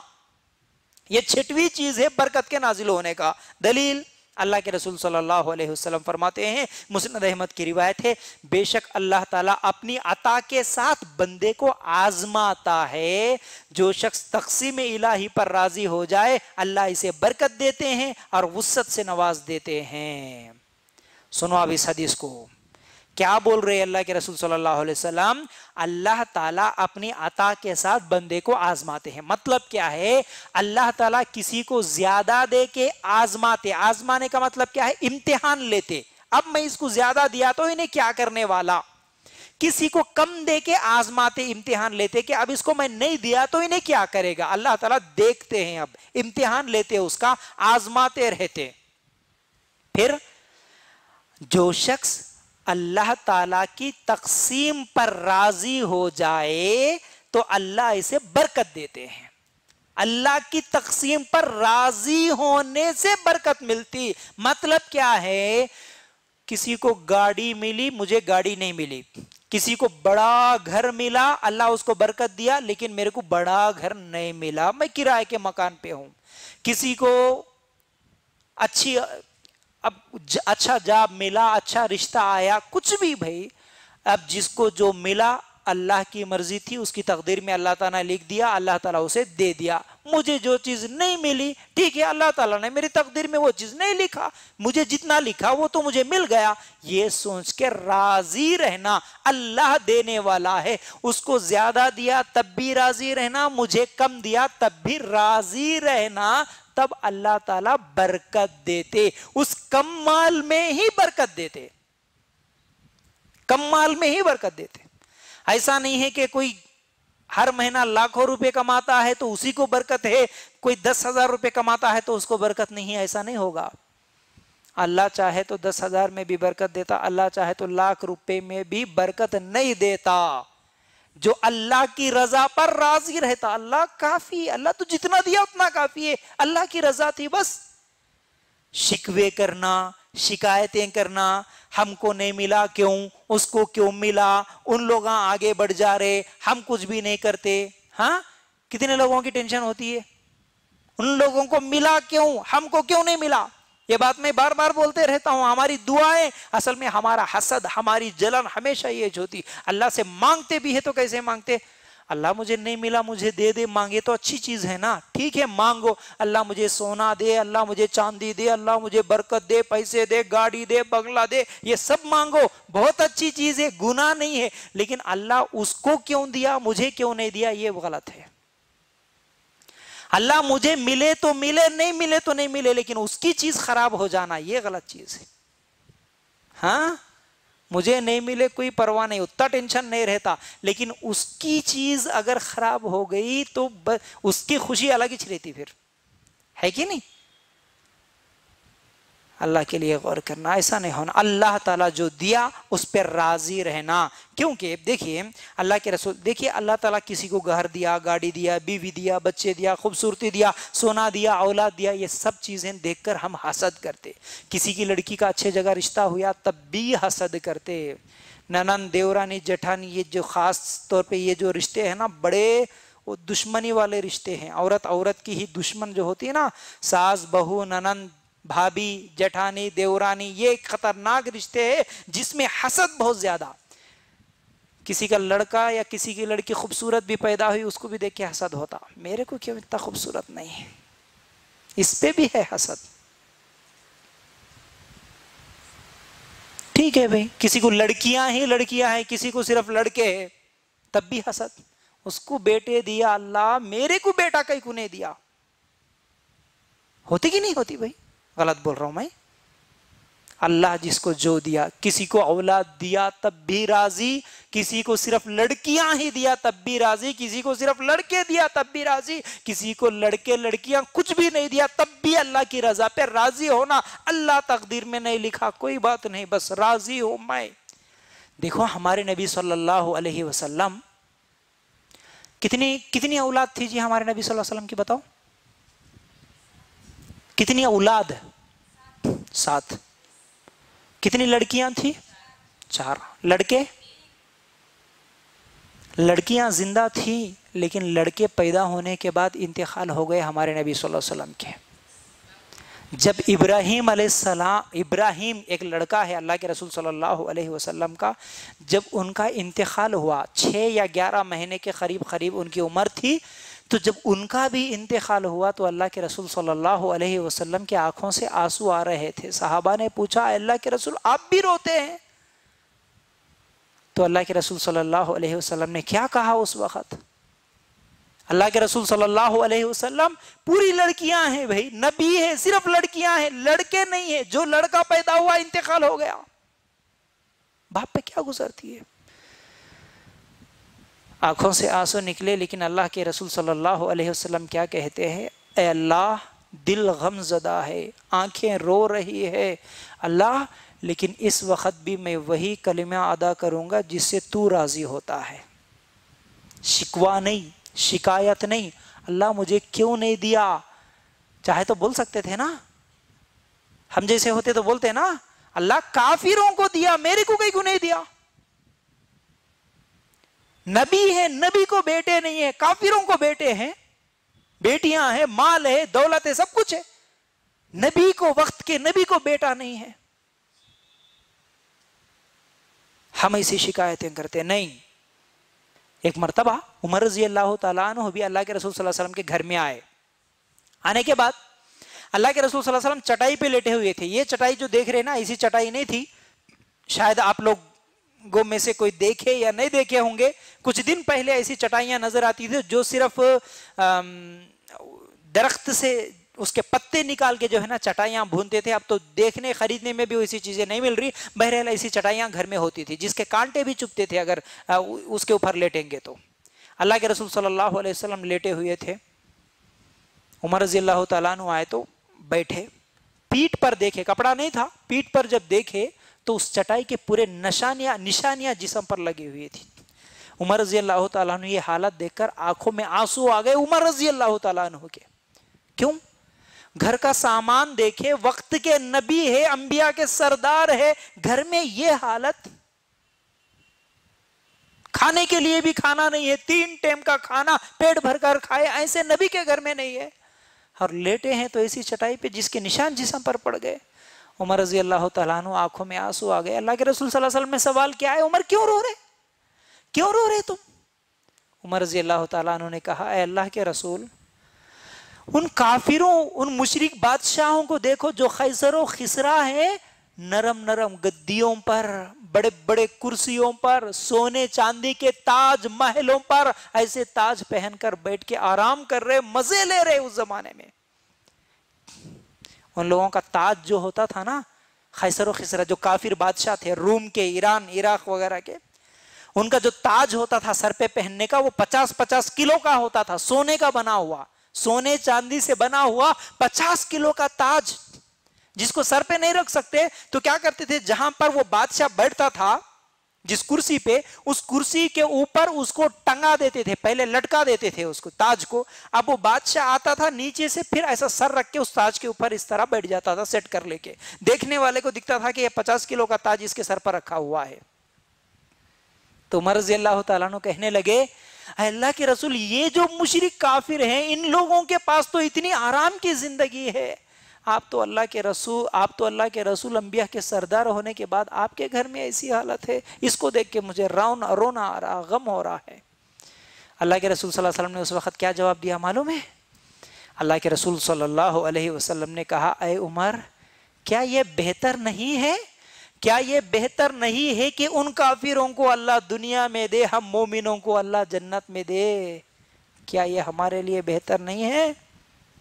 देखिए शिकवा है, शिकायत है, अल्लाह तो काफिरों को क्यों दिया, मुझे क्यों नहीं दिया? अल्लाह अकबर, अल्लाह के रसूल, कितनी बेहतरीन तालीम दे रहे। आए लोगों, अल्लाह की रजा पर राज़ी रहो, ठीक है, तुम्हें दुनिया में नहीं मिली होंगी, अगर तुम अल्लाह के डर से ज़िंदगी गुजारो, आखिरत में उनसे बेहतर मिलेंगी तुमको। ठीक है, तुमको दुनिया में गाड़ी, घर, बंगले नहीं मिले होंगे, बेहतरीन जन्नत में आला दर्जे मिलेंगे। अगर तुम दुनिया में अल्लाह की बंदगी करके, अल्लाह को राज़ी करके आओगे, बेहतरीन जन्नत तुम्हारे लिए है।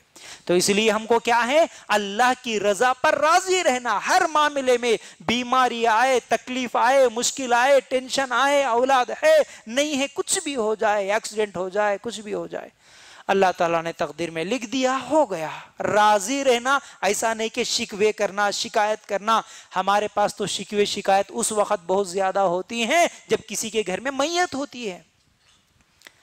किसी का नौजवान बेटा इंतकाल होता है, या छोटे छोटे बच्चों का बाप कहीं कभी इंतकाल होता है तो औरतों का रोना जो होता है, कितनी खतरनाक लफ्ज।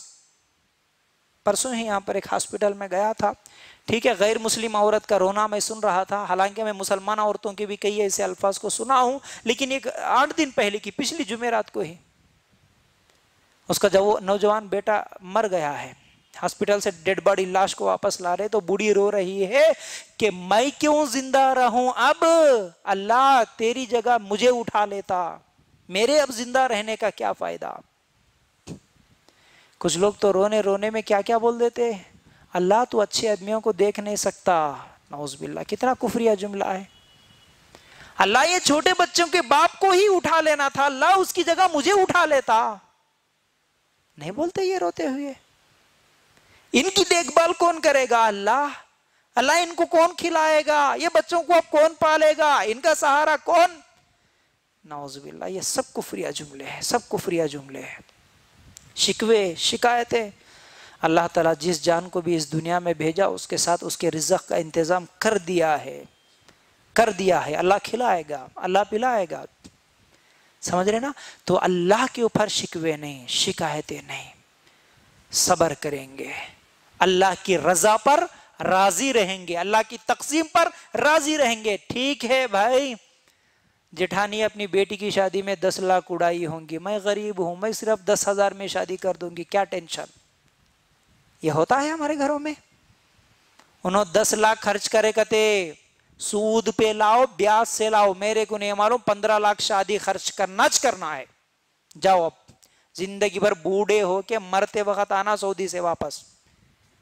हाँ? कितने बूढ़ों को देखते, बिल्कुल बूढ़े हो गए, हाथ पैर काम नहीं कर रहे। ऐसी हालत में घर को आता बेचारा, पूरी ज़िंदगी मेहनत करता, गधे की बाहर मेहनत करता। क्यों? बीवी की ख्वाहिशात पूरे होना, बच्चों की शादियों में लाखों रुपए लुटाना, क्यों वो भी? मुकाबला करने के लिए। उनकी शादी ऐसी हुई, इनका रसम ऐसा हुआ, इन्हों ऐसा घर बन लिए इन इनके घर में दस तोले सोना आ गया, इनके घर में पचास तोले आ गया, हमारे घर में नहीं आए तो नाक लोगों के सामने कैसे दिखाएँगे हम? हमारी नाक कैसी ऊँची होगी? इसलिए कुछ भी करो, हलाल, हराम कुछ भी करो। नहीं, अल्लाह जितना दिया उसने में राज़ी अल्लाह। अल्हम्दुलिल्लाह बोलो। हर चीज़ पे अल्हम्दुलिल्लाह, अल्लाह जितना दिया, उतना काफ़ी है। अल्लाह उसी में बरकत देगा। और एक चीज़ बड़ी अहम बात बोलता हूँ, आपको भी शायद मुशाहिदा करने में ये चीज़ नज़र आई होंगी। जिसको जितना माल देता, अल्लाह उसको वैसी बीमारियाँ भी देता। है गरीब फ़कीर जो सिर्फ़ मांग के खाते या एक दिन की मेहनत करके जिनको पूरे दिन की आज मेहनत करेंगे तो रात को खाने के लिए पेट भरता, उन लोगों को देखो कभी उनकी ज़िंदगी में बीमारियाँ ही नज़र नहीं आती। और सुकून की नींद भी सोते वो लोग, जिनके घरों में लाखों करोड़ों का माल होता, लेकिन उनको जो बीमारियाँ, उनको जो टेंशन आते ना, वैसे टेंशन अगर ये गरीबों को आते तो वो गरीब मर ही जाता, लेकिन अल्लाह उनको वैसा टेंशन देता भी नहीं। अल्लाह ताला तकदीर को लिख दिया, अभी बरकत देने वाला अल्लाह। लाखों की कमाई भी दे और लाखों की हॉस्पिटल में अगर खर्चा भी दे दे तो क्या फ़ायदा फिर? क्या फ़ायदा फिर?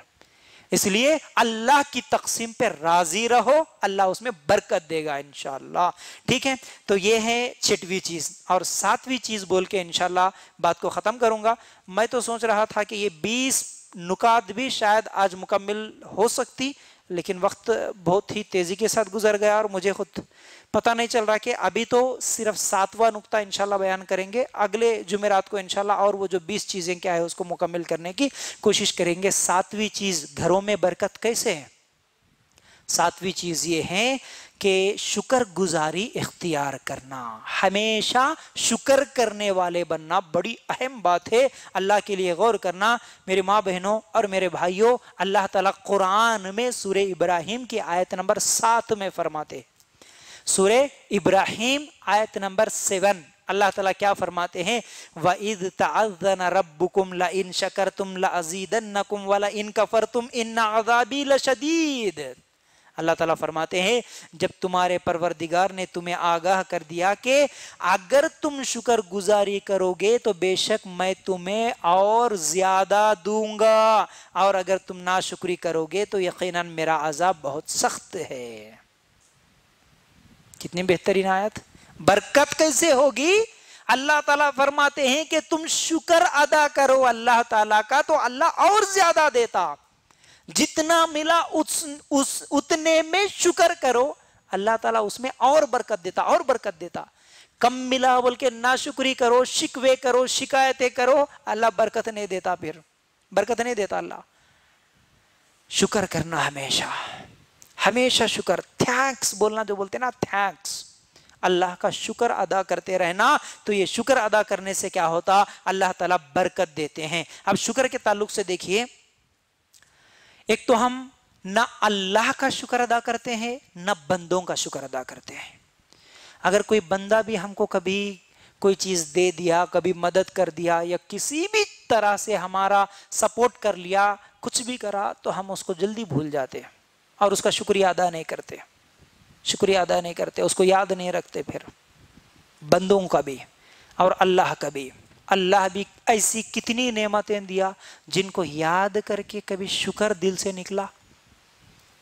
अगर ये सिर्फ़ और सिर्फ़ शुक्र के बारे में बोलूँ तो फिर एक घंटा तो सिर्फ़ शुक्र के ताल्लुक से टाइम लगता।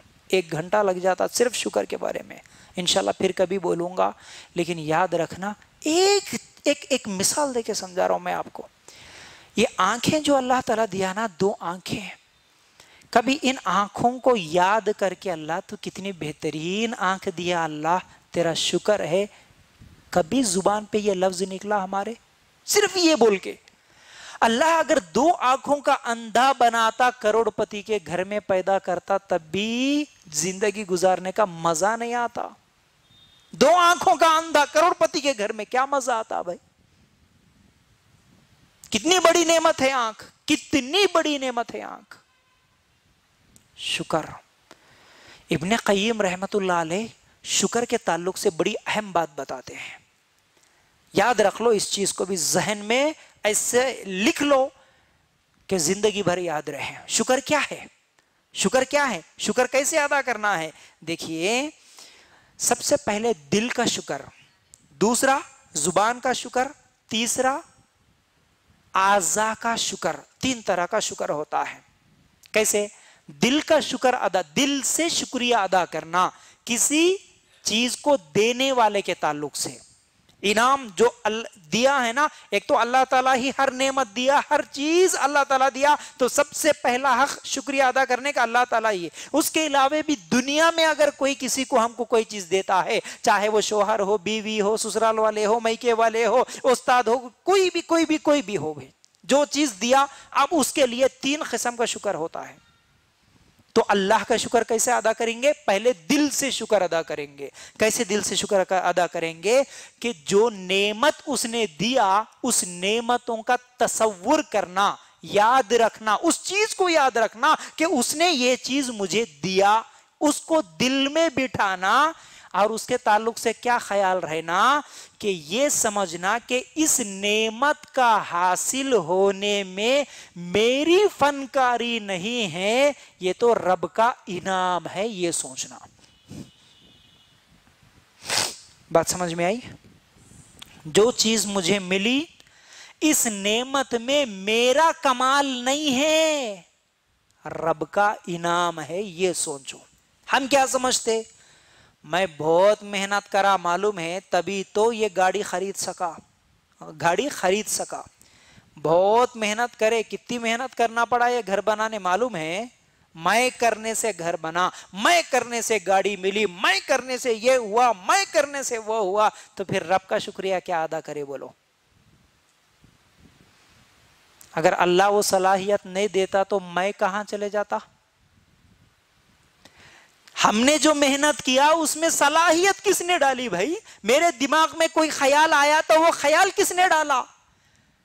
मेरे दिमाग में अगर किसी चीज़ का, जहानत का, किसी चीज़ को याद करने का, किसी टैलेंट का, किसी भी चीज़ का मेरे अंदर होना, किस बात की दलील है? कि ये देने वाला अल्लाह है। मैं मेहनत करा, अगर अल्लाह तेरे दो पैर ना देता तो क्या मेहनत करता? अल्लाह अगर तुझे दो हाथ न देता तो क्या मेहनत करता, क्या कर लेता? सब कुछ देता, लेकिन दिमाग का स्क्रू थोड़ा सा ढीला कर देता तो क्या करता? तेरे घर वाले तुझे घर में नहीं रखते। क्यों? फिर मैं मैं क्यों? शुक्रिया अदा करो, अल्लाह ने दिया है। ये दिल का शुक्र है। अल्लाह ने दिया है, दिल का शुक्र। दूसरी चीज़ ज़ुबान का शुक्र। इब्ने कईम रहमतुल्लाह फरमाते हैं कि ज़ुबान का कैसे शुक्रिया अदा करें? इनाम करने वाले की तारीफ़ करना यह ज़ुबान का शुक्र है। जिसने जो भी दिया उसकी तारीफ़ करो। अल्लाह ने दिया, अल्लाह की तारीफ़। सुबहान अल्लाह अल्हम्दुलिल्लाह, अल्लाह अकबर माशा हर चीज़ अल्लाह का ज़िक्र करना, अल्लाह की हमेशा तारीफ़ करना यह अल्लाह का शुक्र है। अगर बंदों में से कोई किसी को कोई चीज़ दे देता है तो बंदे की भी तारीफ़ करो। शुक्रिया अदा करना यह है, ज़ुबान से शुक्रिया अदा करना, उस बंदे की तारीफ़ कर देना। तीसरी चीज़, आजा का। आजा का मतलब हमारे जिस्मानी आजा, हाथ, पैर, आँख, ज़ुबान, नाक, कान, जो भी चीज़ें हैं, ये आजा है हमारे जिसम के। इससे कैसा शुक्रिया अदा करना, इन सारे आजा से इनाम करने वाले की ताबेदारी करना यह आजा का शुक्र है। हाथ दिया अल्लाह, पैर दिया अल्लाह, दिल दिमाग दिया अल्लाह, इन चीज़ों से उसकी ताबेदारी करना जो दिया मुझे। उसकी नाफरमानी से नहीं बचना। फिर अल्लाह हाथ दिया, हाथों से वही काम करना जिसका अल्लाह ताला ने हमें करने का हुक्म दिया है। आँख दिया अल्लाह ताला, आँखों से वही अमल करना जिसे करने का अल्लाह ताला ने मुझे इजाज़त दिया, ये है उसका शुक्रिया अदा करना। दिया उसने आँख, उस आँख से मैं अगर उसकी बात नहीं मानूं, दूसरी चीज़ें देखूँ हराम कारियाँ करूँ तो फिर ये उसका शुक्रिया अदा नहीं होगा।